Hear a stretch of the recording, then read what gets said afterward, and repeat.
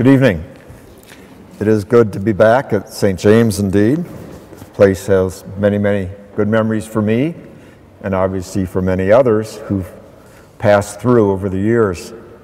And uh, uh, I spent the last 24 hours with Donald Reeves. He sends his greetings to everybody.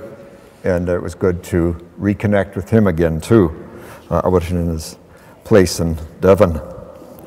So I've been asked to speak to the subject of um, reinventing work.